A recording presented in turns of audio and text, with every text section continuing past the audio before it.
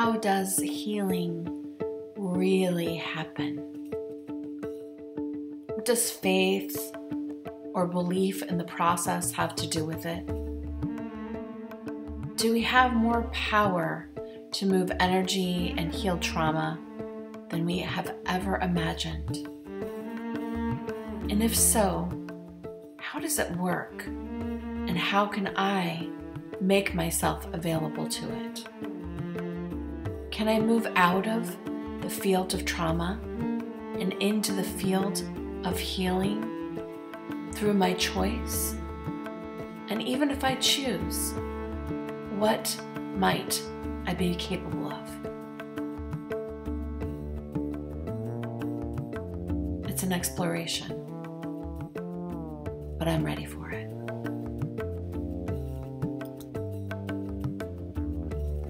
Healing with medicine painting. I'm Shiloh Sophia for Musea Intentional Creativity, curating consciousness.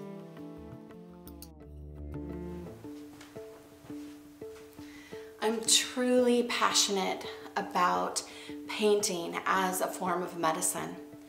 From the time I was a child, I was fixated on healing.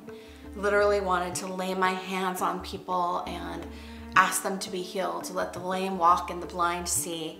And a lot of my life, I've actually practiced that kind of faith healing. When intentional creativity really came into my life, I discovered that it was actually a more scientific and almost literal way of making real the alchemy of what happens in a healing experience. In a healing experience, there's a field of healing that's alternate to the wound or the trauma that gets created. Intentional creativity does that. In a field of healing, there's the request for that healing, making oneself available for that. Intention within a creative process does that. It literally impacts the physical body, the emotional body, and the field. And so every part of you is engaged. And then add right, left brain, and imagination. And then you're in this pretty awesome space where you have, in essence, moved yourself into a space of healing where more of you is available to do that work than is through just thinking or talking. And so there's this idea that bringing your whole self into the creative process makes you available to whatever is available to be healed. Over the years, my prayer has become let whatever is available to be moved and healed today in this moment, let it be so. And what is not is not, but what is, let it move and let myself be engaged with that movement. I don't need to know all the pieces of it. I don't need to know the mechanics of it, but I just want to make myself here for this transformation. And then as I'm creating, I'm making inform through dance or through painting or through writing. I'm like listening and watching and I'm witnessing. I've become an observer of my healing experience. And so intentional creativity for me is you know, part of my faith healing. I have faith that healing is possible, but it's this invitation to engage in a field of, of where healing is possible and to do that really consciously and to co-create with yourself. Yeah, that you are making up a story about a potential of healing and that you are doing the work to show up for that and that instead of someone outside of you doing that work for you or even with you, you, you are the one who is moving the energy. So you're making up the story, you're making up the mythos, you're making up this healing context, this framework into which something new and perhaps rather curious can arise. And how this works directly with medicine painting is so literal, it's, it's concrete in a way. So I'm gonna show you what I'm talking about and I've chosen a color, a pale yellow that feels like the healing I would like to receive and something that I would like to move. And so I'm starting with this inquiry of like what wants to be moved. And then I just notice what comes up. And so for me, what came up was Metabolism. Okay. I may not even have any idea why that came up. So, metabolism. And so now I am metacognitively, metacognition, thinking about thinking, metacognitive painting, thinking about thinking while painting. So I'm simply, for myself, moving the brush in dots and lines as I ask myself the question about my metabolism. What is that about? Where is that headed? What wants to be revealed to me about this? And as something moves or changes, I may even make a mark to suggest I've got some new or different information now. And then I start making some other marks. If something were to arise like a memory, I'm not actually doing the journey right now, but just if a memory arose of like, well, where that trauma came from or something like that, I may even make some scars or some squiggles or something that's messy. I may make some shapes that are coherent with the energy I'm feeling and by doing it, in an essence, I'm discharging that. In other ways of medicine painting, I also might be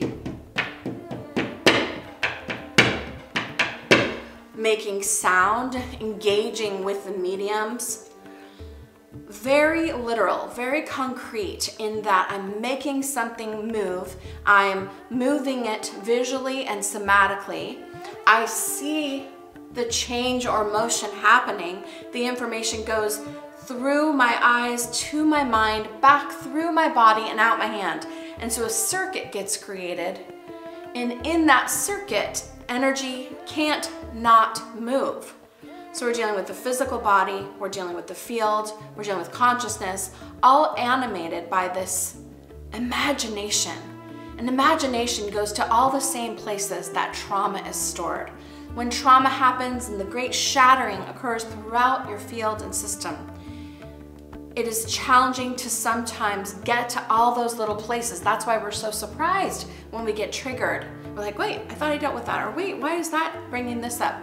It can be very confusing when I am working with healing of specific trauma, I may also say something like, you know, that thing that happened, XYZ, I name it, I'm asking for everything within my system, my entire body, my entire field, which is connected with that specific trauma, to gather together for my good, to be alchemized right now as I'm making this brushstroke.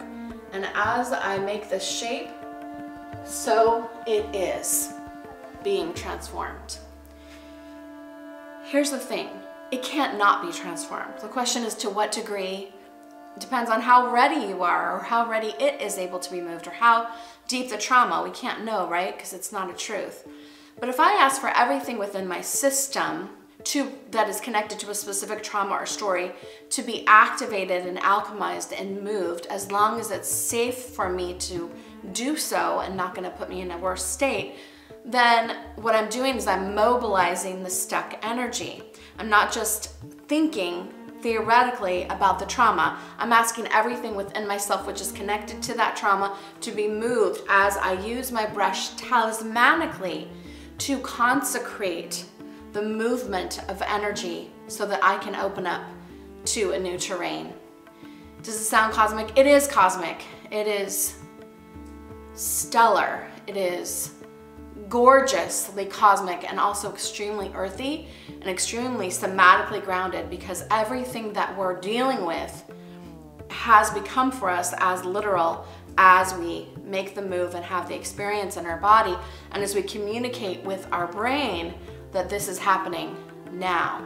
This is happening now. I say that my my biggest prayer in my healing experiences and my prayers for others is this is happening now, that anything that is happening now be able to be moved that can be moved now. And it has to do with just bringing myself into the present and then dedicating an entire painting space to these movements. And then as soon as something has moved, then I go on to what's next because this also reveals, oh, there's something underneath that. Oh, there's something underneath that. And it's places that we get to that we haven't been able to get to by other means.